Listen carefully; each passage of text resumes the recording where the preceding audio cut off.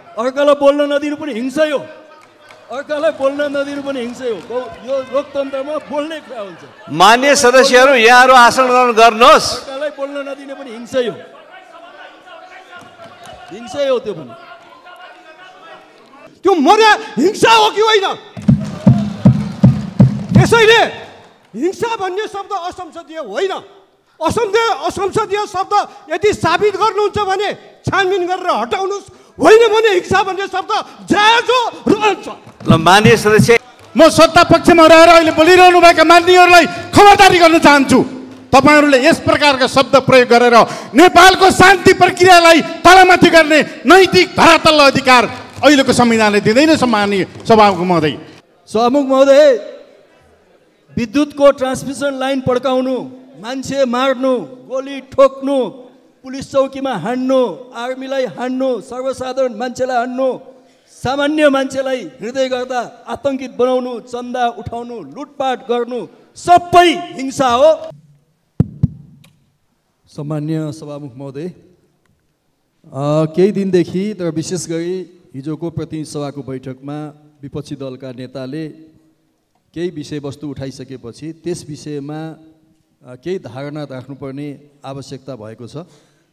र सम्मानीय सभामुख महोदय विशेष गरी सार्वजनिक लेखा समितिमा छलफल भइरहेको नेपाल विद्युत प्राधिकरणको बक्यौता सम्बन्धी बहस आज प्रतिनिधि सभाको समेत एउटा मुख्य एजेन्डा बनेर बहस भइरहेको छ। र यो बहसलाई मैले अन्यथा ठान्दिनँ किनभने यसमा एक अर्कालाई बुझ्ने बुझाउने र यथार्थ कुरा के हो भन्ने सबैले बुझ्ने मौका पनि हामीले पाइरहेका छौँ। को व्यक्ति कस्तो थियो भन्ने कुराको इतिहासदेखि आजसम्मका सम्पूर्ण तथ्यहरू पनि यहाँ आइ नै राखेका छन्। अ, सम्मान्य सभामुख महोदय दुनियाँमा हामी सबैलाई थाहा छ कि कज एन्ड इफेक्ट हुन्छ। केही कुराको कारण भएपछि त्यसको एउटा इफेक्टहरू देखा पर्छ। त्यस्तै नेपाल विद्युत प्राधिकरणको पनि डेडिकेटेड र ट्रङ्क लाइन सम्बन्धी बक्यौताहरू ने यो महालेखा परीक्षकको प्रतिवेदनले छप्पन्नौ प्रतिवेदनदेखि लगातार अस्तिको एकसट्ठौँ प्रतिवेदनसम्म लगातार यो विषय उठाएको छ। तर आज आउँदा यो डेडिकेटेड र ट्रङ्क लाइनको मात्रै एक्काइस अरब अठासी करोड बेरोजु महालेखा परीक्षकको कार्यालयबाट देखाइएको छ। टोटल नेपाल विद्युत प्राधिकरणको बेरोजु कति देखाइएको छ त भन्दा चौवालिस अरब बत्तिस करोड देखाइएको छ र डेडिकेटेड र ट्रङ्क लाइनको हिस्सा त्यसमा उन्चास पोइन्ट तिन छ प्रतिशत छ झन्डै आधा हिस्सा चाहिँ यो डेडिकेटेड र ट्रङ्कको छ। र यति महत्त्वपूर्ण विषयमा किन यस्तो हुँदै आयो भन्ने कुराको खोजी नीति हुनु अस्वाभाविक होइन। कहिलेकाहीँ हुन्छ चोरको खुट्टो काट भन्दा कतिपयले तान्छन्। त्यसलाई मैले अन्यथा भन्नु छैन। कतिपय प्रश्न उठिसकेपछि त्यसमा बहस गर्नुको सट्टा त्यसबाट उम्किनलाई अनावश्यक खालका टिका टिप्पणीहरू गर्ने कुरा हुँदै आएको छ। यस विषयमा अहिलेको सार्वजनिक लेखा समितिमा भएको बहस मूलत यो कुनै नयाँ बहस होइन। विगतको प्रतिनिधि सभाको सार्वजनिक लेखा समितिले तत्कालीन माननीय डाक्टर मिनेन्द्र रिजालको संयोजकत्वमा पाँच सदस्यीय उपसमिति बनाएर यस विषयमा व्यापक छलफल गरिकन आठवटा विषयहरू निर्णयको निम्ति पेस भएको र तत्कालीन सार्वजनिक लेखा समितिले त्यो विषयलाई एक्सेप्ट गरेको र त्यसलाई सम्बन्धित निकायमा निर्देशन दिएको सबैलाई विदितै छ। नेपाल सरकारलाई निर्देशन दिएको छ अख्तियारलाई निर्देशन दिएको छ विद्युत नियमन आयोगलाई निर्देशन दिएको छ यी विभिन्न ठाउँमा निर्देशन दिएको छ। यो दुई हजार छयत्तरको फागुन महिनामा उहाँले यो रिपोर्ट पेस गर्नुभयो र त्यसपछिको लगत्तैको बैठकमा सार्वजनिक लेखा समितिले यो निर्णय गरेको छ। त्यो सार्वजनिक लेखा समितिमा हामी यहाँ भएका केही राजनीतिक दल बाहेक जो अहिले नयाँ यो संसदमा आयौँ त्यो बाहेक सबै राजनीतिक दलको विशेष गरी नेकपा एमालेको नेपाली कङ्ग्रेसको नेकपा माओवादीका मान्यज्यूहरूको सहभागिता त्यो प्रतिनिधि सभाको लेखा समितिमा पनि थियो।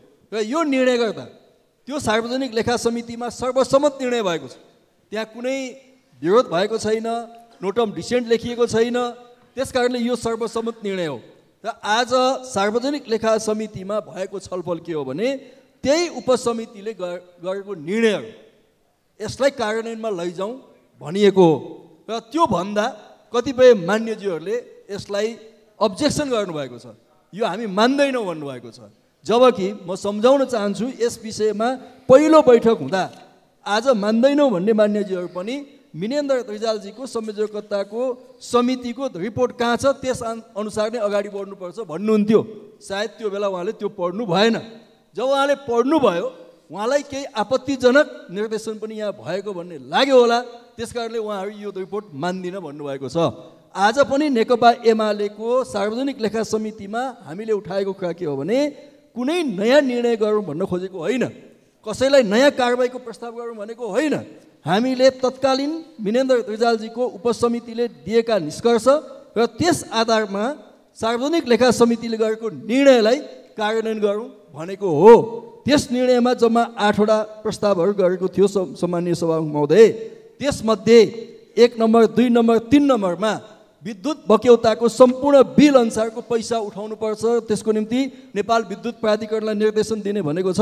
आज पनि म भन्न चाहन्छु नेकपा एमालेको तर्फबाट एक्काइस अरब अठासी करोड जो बक्यौता नेपाल विद्युत प्राधिकरणको यो डेडिकेटेड र ट्रङ्क लाइनको सम्बन्धमा छ त्यो पैसा एक एक पैसा पाइ पाइ पैसा एक पैसा पनि छुट निद- नदिकन उठाउनुपर्छ भन्ने कुरा आज पनि हाम्रो धारणा हो भन्ने कुरा म राख्न चाहन्छु। नेपाल विद्युत प्राधिकरणको नेतृत्व र डेडिकेटेड र ट्रङ्क लाइन लिने व्यवसायीको बिचमा मिलेमतो छ भन्ने आशंका गरेको।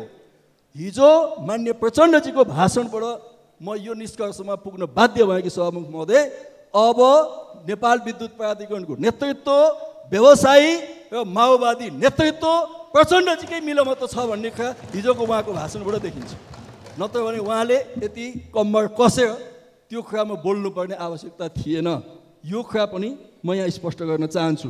त्यसैले यो विषयान्तर गर्ने र आफू भाग्ने आफू बदमासी गर्ने भाग्ने आफू काँक्रो चोर्ने बिहा अर्कोको टा गालामा टाँसिदिने आफू भाग्ने यो प्रवृत्तिबाट कुनै पनि नेतृत्व ठिक ढङ्गले अगाडि बढ्न सक्दैन भन्ने म कुरा राख्न चाहन्छु। दुई हजार अडचालिस सालको सरकारले निजी क्षेत्रलाई विद्युत उत्पादनमा लाइसेन्स दिने निर्णय गर्यो। यहाँ हामी सम्झिनुपर्छ तत्कालीन ऊर्जा मन्त्री शैलजा आचार्यजीको यो निर्णय हो। उहाँलाई सम्झिनुपर्छ तब आज हामी यहाँ ठाउँमा आइपुग्यौँ।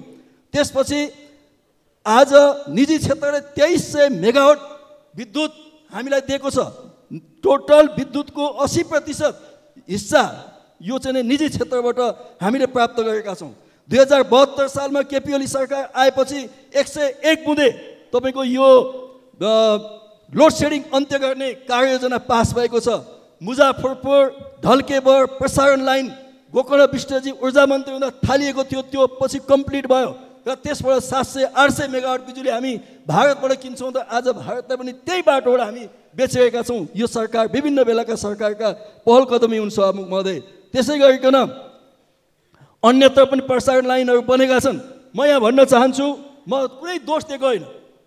अध्ययनले भन्छ कि यदि यो देशमा माओवादी हिंसा दस वर्ष नभएको भए नेपालको विद्युतमा योभन्दा ठुलो क्रान्ति हुन्थ्यो। किनभने माओवादीले कतिवटा ट्रान्समिसन लाइन पड्कायो कतिवटा तपाईँको चाहिँ सब स्टेसनहरू पड्कायो त्यहाँ विद्युत उत्पादन गर्न खोलामा गएका कति व्यवसायीहरूलाई चन्दा उठाएर भगायो। असुरक्षाको कारणले लगानी भएन त्यस कारण अध्ययनले के भन्छ भने यदि माओवादीको दस वर्षको त्यो हिंसा नभएको भए पचहत्तर सालमा होइन सभामुख महोदय पैँसठी सालमा यो देशमा लोड सेडिङ मुक्त हुने थियो। त्यस कारणले म सभामुख महोदयलाई त्यो कुरा पनि सभामुख महोदय मार्फत ध्यान आकर्षण गर्न चाहन्छु। वक्ता यी- मान्यज्यू एकैछिन तपाईँ रोक्नुहोस् ल मान्य माधव साहबको लागि के हो भन्नुहोस्। के किन उठ्नु भएको छ? पहिला त्यो बताउँ। हाम्रो नियमावलीको पच्चिसमा नियमापत्ति हुने गरिकन शब्दावलीहरू प्रयोग गर्न पाइँदैन। बोल्दै गर्नुभएको मान्यले गैर संसदीय र अमर्यादित शब्द बोल्नुभएको छ। त्यसैले नियमापत्ति गर्छु। माइक पाउँ। माइक पाउँ। मान्य सदस्यहरू यहाँले भन्नुभएको कुरातिर ध्यान आकृष्ट भएको छ। विचारहरू विचारको ढङ्गबाट छलफल हुन्छ। त्यसैले मान्य आसन ग्रहण गरौँ र मान्य सदस्यहरू आसन ग्रहण गर्नुहोस्। र अब हामी विषयमा अगाडि जान्छौँ। वक्ता मान्य सदस्य योगेश भट्टराईलाई आफ्नो वक्तव्य अन्त्य गर्दै संक्षिप्तमा राखिदिनु म अनुरोध गर्छु। हिंसै हो नि महोदय। मान्य सदस्य ध्यान आकर्षण भएको छ। यहाँ आसन ग्रहण गरौँ र कारवाहीलाई अगाडि बढाउँ। मान्य। सदस्यहरू यहाँहरू आसन ग्रहण गर्नुहोस्। र हाम्रो निर्धारित कार्यक्रम अनुसार हामी अगाडि जानुपर्छ। म मान्य सदस्यहरूलाई। आफ्नो ठाउँमा आसन ग्रहण गर्नको लागि अनुरोध। गर्दछु।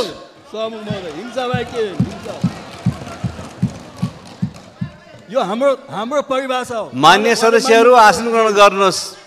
यो हाम्रो परिभाषा हो। उहाँले नमाने पनि हुन्छ केही फरक पर्दैन। यो हाम्रो पोलिटिकल कमिटमेन्ट हो सभामुख महोदय।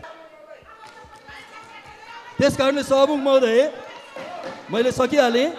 त्यसैले मान्य सदस्यहरू आसन ग्रहण गरौँ। यो इतिहास हो। त्यसैले अन्तिममा जाँदा जाँदै सभामुख महोदय अर्कालाई बोल्न नदिनु पनि हिंसै हो। अर्कालाई बोल्न नदिनु पनि हिंसै हो।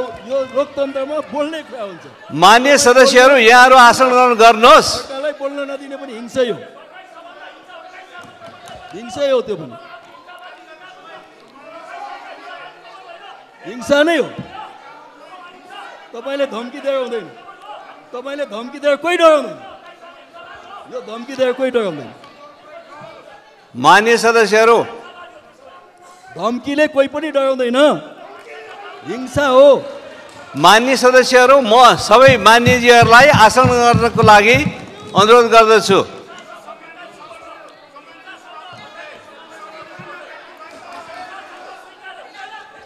बोल्न नदिनु हिंसा हो। लोकतन्त्रमा बोल्न नदिनु हिंसा हो। यहाँ पनि हिंसा भएको छ। त्यसैले हिंसा नगर्नु होला मान्यजीहरू बस्नुहोस्।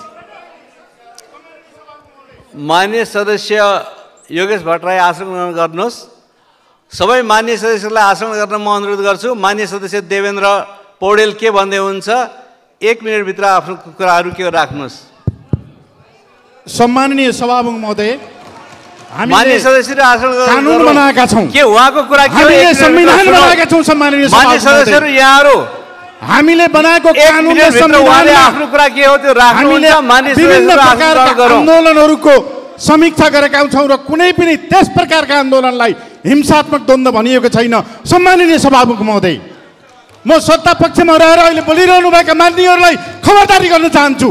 तपाईँहरूले यस प्रकारका शब्द प्रयोग गरेर नेपालको शान्ति प्रक्रियालाई तलमाथि गर्ने नैतिक धरातल अधिकार अहिलेको संविधानले दिँदैन सम्माननीय सभामुख महोदय। त्यस कारणले मान्य योगेश भट्टराईले प्रयोग गर्नुभएको शब्द यो रेकर्डबाट हटाउनको निम्ति माननीय सभामुख महोदय मार्फत म हार्दिक अनुरोध गर्न चाहन्छु। सम्माननीय सभामुख महोदय हामी शान्ति प्रक्रियालाई अगाडि बढाउन चाहन्छौँ र यस प्रकारका संविधान प्रतिकूल हुने शब्दहरू प्रयोग नहुनु भन्ने कुरा हाम्रो सम्माननीय सभामुख महोदय मार्फत सम्मानित सदनलाई हार्दिक हार्दिक ध्यान आकर्षण गराउन चाहन्छु। धन्यवाद। धन्यवाद। नेपाल विद्युत प्राधिकरणको भक्तपुर स्थित अफिसमा झन्डै पचहत्तर छत्तर हितराज पाण्डेज्यू बसिदिनु म अनुरोध गर्छु। पचहत्तर छत्तर सालमा सभामुख महोदय मैले अब टुङ्गिहालेँ। सभामुख महोदय यो नेपाल विद्युत प्राधिकरणले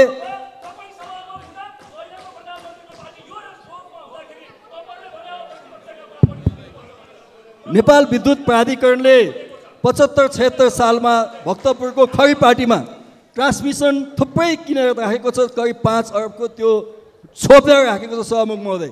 हामीले लेखा समितिमा भनेको के हो भने त्यो छोपेर राखेको वस्तु के रहेछ त? किन ल्याइएको? त्यो किन प्रयोग भएन? पाँच अरब मूल्यको वस्तु किनेर ल्याइयो त्यो किन प्रयोग भएन? त्यसलाई एकपल्ट छानबिन होस् भनेर हामीले भनेका हौँ सभामुख महोदय। यो कुनै गलत कुरा हामीले भनेका छैनौँ। दोस्रो कुरा हेटौँडा स्थित कार्यालयमा विद्युत प्राधिकरणको हेटौँडा स्थित कार्यालयमा करिब छ वर्षको लागि पुग्ने जगेडा सामानहरू किनेर थन्क्याइएको छ। जगेडा सामान सामान्यतः एक वर्षको लागि किनिन्छ। पाँच वर्ष छ वर्षको निम्ति जगेडा भनेर राखिएको सामान किन किनियो? त्यसको औचित्य के हो? हामीले यो माग गरेका हौँ सभामुख महोदय। सदस्य योगेश भट्टराई। सकेँ। तामाको आसन ग्रहण गर्नुहोस्। अल्मुनियमको किन ल्याइयो? मान्य सदस्य योगेश भट्टराई तपाईँ आसन ग्रहण गर्नुहोस्। ल मान्य सदस्य नेकपा माओवादीका प्रमुख सचेतक हितराज पाण्डे आफ्नो कुराहरू के हो राख्नुहोस्। मान्य सदस्य तपाईँ आसन ग्रहण गर्नुहोस्। उहाँको कुरा सुन्ने हो। सम्मानीय सभामुख महोदय म नियपत्ति उठाइरहेको छु। हामीले यो नियमावलीमा जे व्यवस्था गरेका छौँ हामी दुईतिर केही कुरा गर्न चाहँदैनौँ। तर अहिले जसरी नियमको उल्लङ्घन भइरहेको छ म हाम्रो यो संसदको नियमावलीको बिस छब्बिस जसमा न्यायपत्तिको व्यवस्था छ त्यो कुरा उठाइरहेको छु। यहाँ न त दिएको समयको पालन गरिएको छ न त भाषाहरू त्यस्तो प्रयोग गरिएको छ। यस कारणले म छब्बिस अन्तर्गत न्यायपत्तिको विषयवस्तु उठाइरहेको छु कि यहाँ प्रयोग भएको भाषा हाम्रो संविधानअनुसार हाम्रो नियमावली अनुसार प्रयोग भइरहेको छैन। त्यस कारणले त्यो जो हिंसा शब्द प्रयोग भएको छ त्यसलाई रेकर्डबाट हटाउनको लागि म अनुरोध गरिरहेको छु। धन्यवाद। मान्य सदस्यहरू यहाँ उठेका विषयमा खास गरिकन प्रयोग भएको हिंसा भन्ने शब्दको बारेमा यसलाई छानबिन गरेर निर्णय गर्नको लागि म सचिवालयलाई निर्देशन गर्दछु र एक मिनटभित्र मान्य सदस्य योगेश भट्टराईलाई आफ्नो कुराहरू अन्त्य गर्नको लागि म अनुरोध गर्दछु। मान्य सदस्य योगेश भट्टराई। सचिवालयले छानबिन गर्छ सभामुख महोदय। हाम्रो राजनीतिक प्रतिबद्धतामा कसैको पनि छानबिन हुँदैन। हाम्रो राजनीतिक प्रतिबद्धता हो। के छानबिन हुन्छ यहाँ? राजनीतिक प्रतिबद्धता के छानबिन हुन्छ? उहाँको राजनीतिक प्रतिबद्धता के छानबिन हुन्छ? हामीले लिएको सिद्धान्तमा के छानबिन हुन्छ? को छानबिन गर्ने?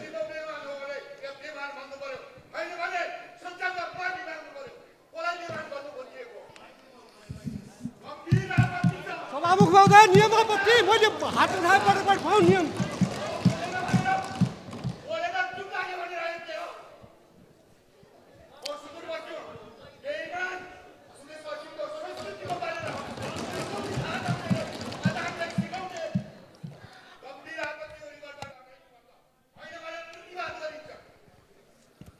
मान्य सदस्य योगेश भट्टराई अगाडि बढ्नुहोस्। एक मिनटको समय फेरि तपाईँलाई एक मिनटभित्रै सिक्नको लागि भनिन्छ। मान्य सदस्यहरू सुनेर सहयोग गरिदिनु होला। सभामुख महोदय विद्युतको ट्रान्समिसन लाइन पड्काउनु मान्छे मार्नु गोली ठोक्नु पुलिस चौकीमा हान्नु आर्मीलाई हान्नु सर्वसाधारण मान्छेलाई हान्नु सामान्य मान्छेलाई हृदय गर्दा आतङ्कित बनाउनु चन्दा उठाउनु लुटपाट गर्नु सबै हिंसा हो। धन्यवाद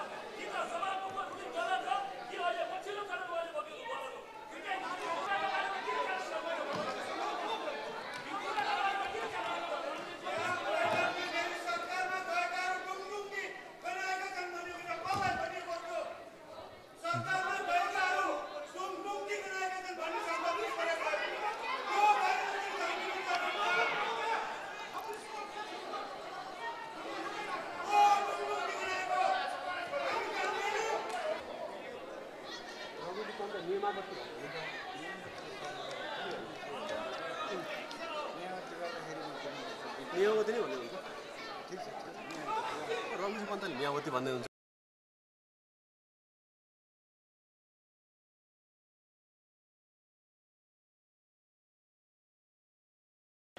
ल नियम आपत्ति नियम नम्बर कति? छब्बिसको। ल तपाईँले एक मिनटमा व्याख्या गर्नुहोस्। समय लाग्छ दुई मिनट पनि लाग्न सक्छ।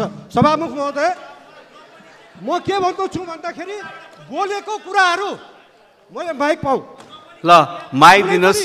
रघुजी पन्तलाई मान्य रघुजी पन्तलाई माइक दिनुहोस्। मैले बोल्न त पाउँ ल ठिक छ। मेरो कुरा सुन्नुहोस् न। तपाईँ म तपाईँसँग मैले दोहोरी खेले होइन नि। मान्यज्यू यता यता बोलौँ। तपाईँलाई टाइम दिएको छ बोल्नुहोस्। मैले सभामुख महोदय कुनै पनि मान्य सांसदले बोल्दाखेरि असंसदीय शब्द प्रयोग भयो भने त्यसमाथि जो कसैले पनि आपत्ति उठाउन पाउँछ। तर असंसदीय शब्द भनेर उठाउने कुनै पनि मान्यज्यूले त्यो संसद त्यो शब्द असंसदीय हो भनेर साबित गर्न सक्नुपर्छ। अब कुन शब्द संसदीय हो कुन शब्द असंसदीय हो भन्ने बारेमा हाम्रो यो यही संसदका पूर्व महासचिव जो सायद बितिसक्नुभयो जीवराज सत्यालजी जस्तो लाग्छ नाम मैले बिर्सिया छैन भने उहाँले संसदभित्र भन्ने पुस्तक लेख्नु भएको छ। त्यो पुस्तकमा कुन कुन शब्द असंसदीय हुन्छ? अङ्ग्रेजीका कस्ता कस्ता शब्द प्रयोग गर्न पाइँदैन नेपालीका कस्ता कस्ता शब्द प्रयोग गर्न पाइँदैन भनेर प्रश्न लेखेको छ। र त्यहाँभित्र यो हिंसा भन्ने शब्द छैन। अब म एउटा मात्र कुरा भन्छु। उहाँहरूले के मान्नु भएको छ भन्दाखेरि जनयुद्ध जनयुद्ध शब्द हाम्रो संविधानमा पनि उल्लेख गरेको छ। जनयुद्ध भन्न किन कन्जुसियाई गर्नुहुन्छ भनेर भन्नुहुन्छ। ए बाबा जनयुद्ध तपाईँहरूले गर्नुभयो। मा एकछिन त्यो जनयुद्ध मानिदिउँ। त्यो जनयुद्धमा मान्छे मऱ्यो कि मरेन? त्यो मर्या हिंसा हो कि होइन? त्यसैले हिंसा भन्ने शब्द असंसदीय होइन। असंसदीय असंसदीय शब्द यदि साबित गर्नुहुन्छ भने छानबिन गरेर हटाउनुहोस्। होइन भने हिंसा भन्ने शब्द जायज हो रहन्छ